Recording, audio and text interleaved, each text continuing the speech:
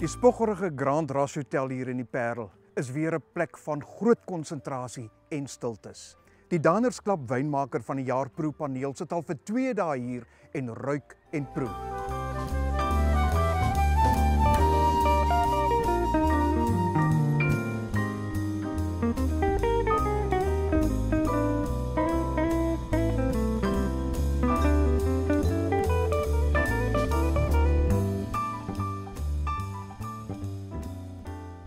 I think the Diners Club stands out as the, the best competition for winemakers.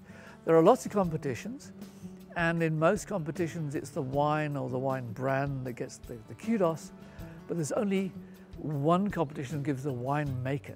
There are, every year there are lots of gold medals, there are lots of, of silver medals, there are lots of double gold medals. There's one Winemakers of the Year competition. It's different, it's very special, and it's the most treasured um, reward that a winemaker can get. What makes this year's competition particularly special is that there's so much exciting work happening in the wine industry with white blends. And we tasted a whole bunch of different styles today that just showed us how challenging that area is. I was looking for a wine in, as the winning wine to be a product that will deliver quality and enjoyment over a number of years still after this award. So it, it could be a wine that had quality right now, but it needed to have sustainability and development potential.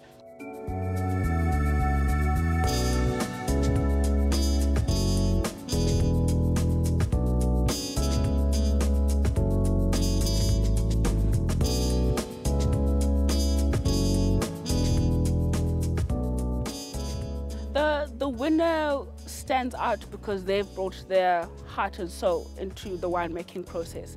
So it's the science, it's the art, and it's, it's wine that has got balance, that is harmonious, that is really pleasant um, to drink.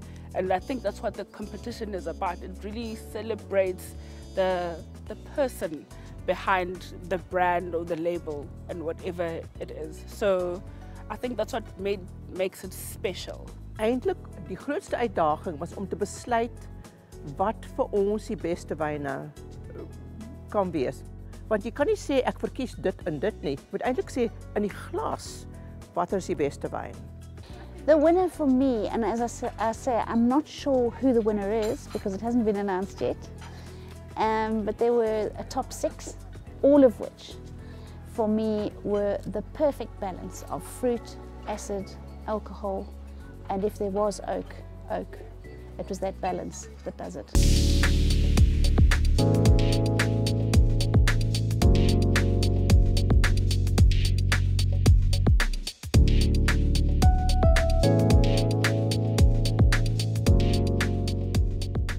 Today what we've done is the white wine blends, which is also, um, and that is for the senior winemakers here, and that also showed an enormous amount of innovation, plus the classical stuff. So it really has been a very interesting day's judging.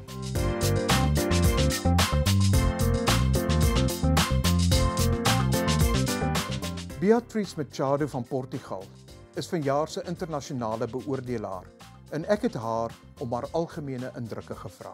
For me it's fascinating to learn how South Africa is becoming mature in terms of consistent quality of white wines, white blends, and it's producing wines in a world-class level. Um, so for me, this was more like a learning experience of the upcoming trends in terms of winemaking in South Africa. And I'm happy actually to be here and I'm very thankful for this opportunity and surely I'll go back with a clear overview of the potential of South Africa as a great wine producing country.